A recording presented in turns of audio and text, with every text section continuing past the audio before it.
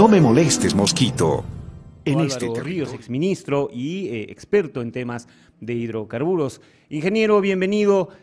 Bueno, para empezar la consulta, ¿se debe cambiar la norma? ¿Está obsoleta? ¿Qué se debe cambiar de esta norma que eh, ha regido en los últimos años y que ha servido como sustento para un momento importante en la economía del país? Sí, muy buenos días. Eh, los saludo desde Santiago de Chile. Estamos acá haciendo algunos estudios y trabajos.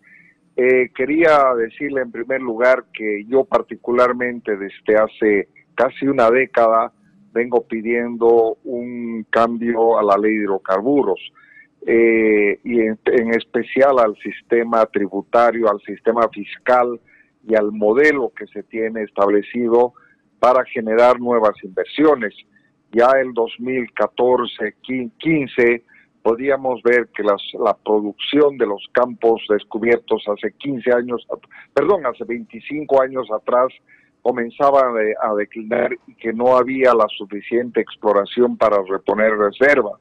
Y en este sentido es que en sucesivos programas, uh, columnas, pedíamos esto de que, de que se deba hacer un cambio en la ley de hidrocarburos, ya que era una ley eh, una ley un modelo eh, tributario bastante confiscatorio y que no permitía las inversiones suficientes para reponer reservas, ¿no?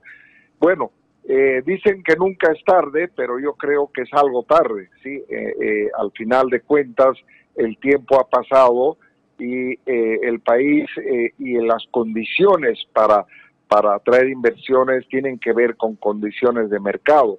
Y en este contexto, por ejemplo, yo le puedo decir que, que ahora en este momento ya el gasoducto TGN, el, el gasoducto en Argentina, está siendo revertido para llegar con gas hasta nuestra frontera. Es decir, que la Argentina ya no es un mercado, vaca muerta se ha desarrollado y los gasoductos se han hecho a una velocidad increíble porque el gas de Bolivia comenzaba a ser escaso, ¿no? De la misma manera, en el mercado brasilero, eh, pues el, el, gas del presal que ya está, eh, si usted quiere, está siendo reinyectado, está siendo contractualizado para venderse en el mercado al, al año 27, 28.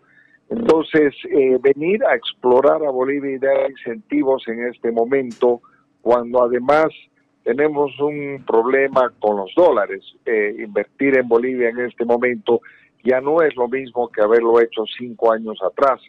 Entonces, eh, yo digo que, nunca es tarde para, para tratar de, de, revertir y de tener nueva producción en Bolivia, tanto de gas como de petróleo y de condensado.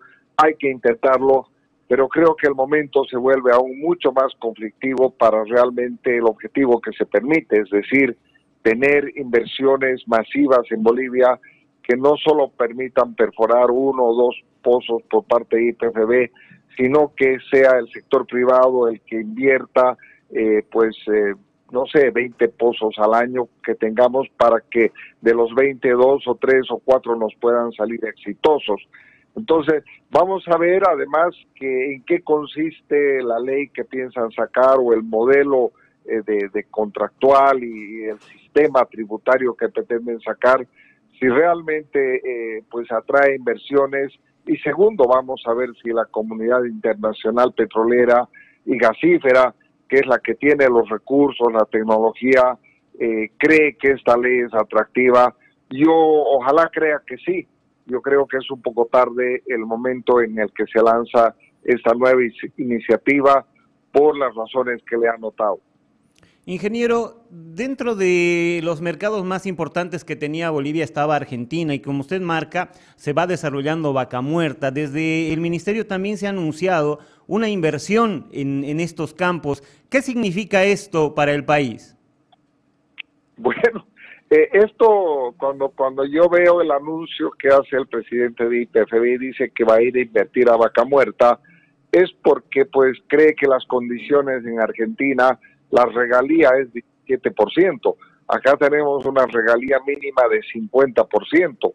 Y no, no, no, no confundamos además que en Vaca Muerta el recurso está descubierto, es un shale, hay que producirlo eficientemente. En cambio, en Bolivia las cuencas o las estructuras que perseguimos todavía debemos descubrirlas, o sea que puede ser sí o puede ser no, está el riesgo geológico. Entonces, eh, yo, yo cuando el presidente IPFB dijo y manifestó que iba a ir tras inversiones en vaca muerta, yo dije lo correcto, una empresa debería preferir ir a, ir a invertir en vaca muerta y no en Bolivia por el riesgo geológico y por el nivel tributario que se tiene, ¿no? Pero como le digo, uno invierte cuando ve mercado, si uno no ve un mercado inmobiliario o un mercado creciente de personas, pues no va a seguir construyendo.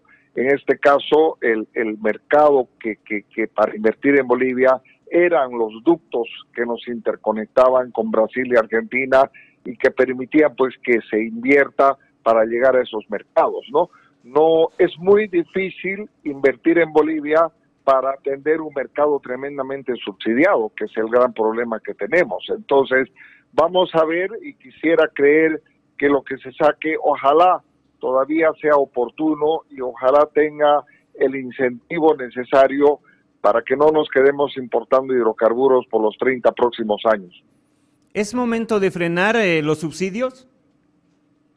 Mire, yo soy enemigo de los subsidios, he escrito varias entregas en las cuales he dicho que los subsidios a, a los energéticos en particular, no solamente a la gasolina, al diésel, al, al GLP, son tremendamente perversos, porque se beneficia a los que más tienen, se beneficia al derroche, se beneficia al contrabando, como hemos estado viendo. Entonces, eh, yo creo que hemos tenido largos 15 años para haber hecho algo con los tributos, pero como había la bonanza del gas, entonces se decidió mantenerlos. Ahora ha entrado el debate si debemos eh, levantarlos, si debemos focalizarlos, qué debemos hacer, porque ya el, la, la, economía ha golpeado a nuestras, a nuestras puertas, a, a los bolivianos, y lo vemos esto en la escasez de dólares, en la caída de las reservas internacionales netas, en nuestro constante déficit fiscal ya casi por siete, ocho años.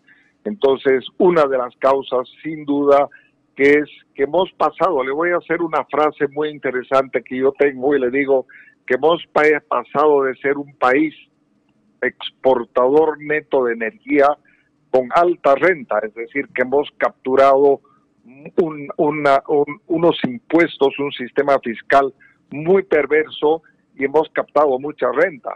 Y de repente, en la medida en que los hidrocarburos y la producción de gas condensado caía en el país, eh, pues hemos comenzado a importar más y nos hemos vuelto un país importador de hidrocarburos y además con subsidios. Entonces, eso es parte del problema que está afectando nuestra macroeconomía.